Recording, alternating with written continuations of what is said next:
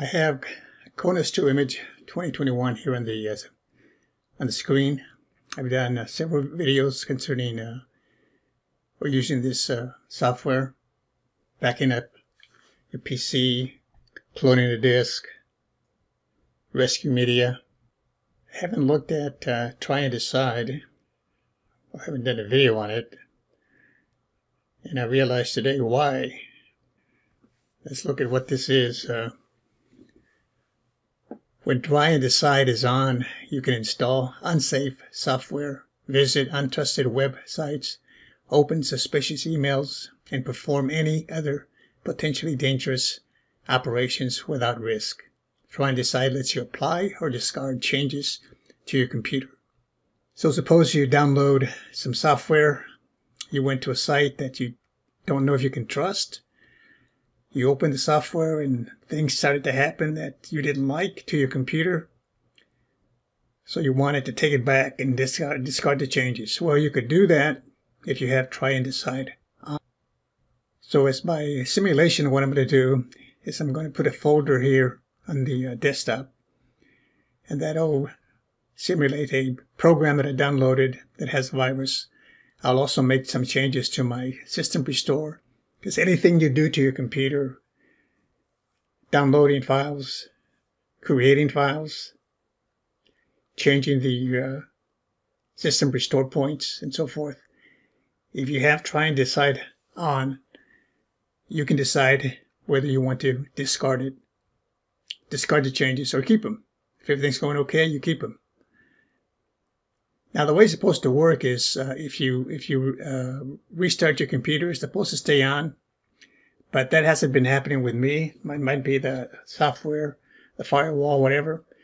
But what I've been doing is uh, to test it out is I, I make some changes, and then I restart the computer, and when I get to Acronis, this is off instead of on. It's off. So then I look at the changes I made, and they're gone. So it automatically discards them but it's supposed to when you when you restart it it's supposed to give you a screen to give you the option to discard or continue working with it on. But this is the way that i do it.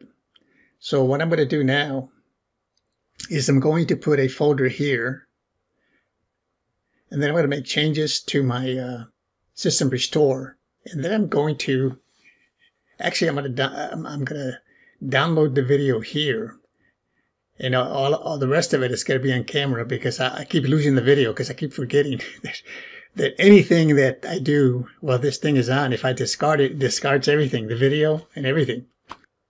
So the rest of it is going to be on camera.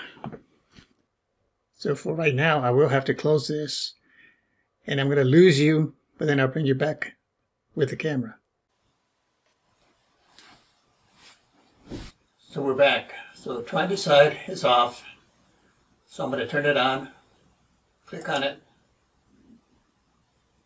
Then it tells you about it again, what it is.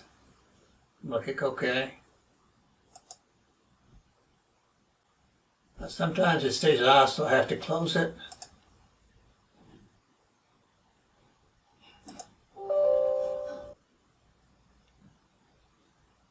And I open it up again now it's on.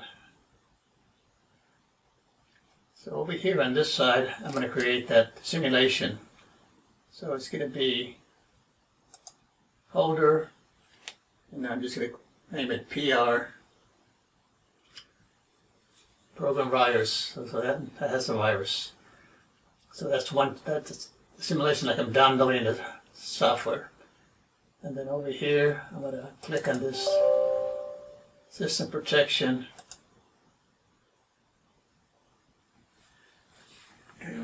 So I'm going to configure and you can see that has uh, 65.05 megabytes so I'm going to delete that. That's one of the changes I'll make. So now the current usage is zero zero bytes. I'm um, going to delete this or click OK. So those are the changes that I've made. deleted the restore points that it had and downloaded this folder.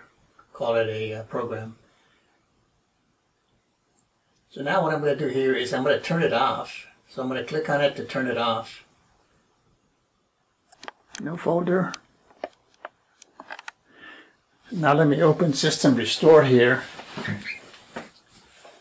System Restore.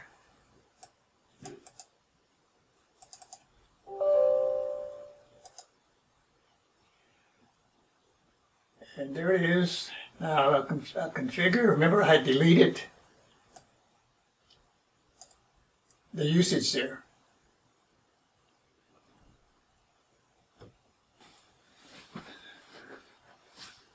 So let's look at this.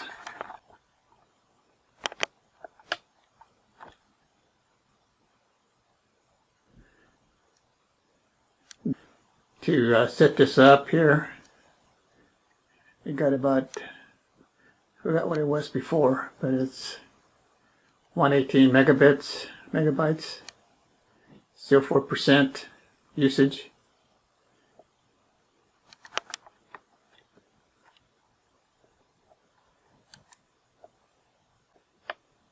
Like I said, I tried it. This is about the third time I've tried it uh, in the last uh, week or so. Thanks for watching. I'll see you next time.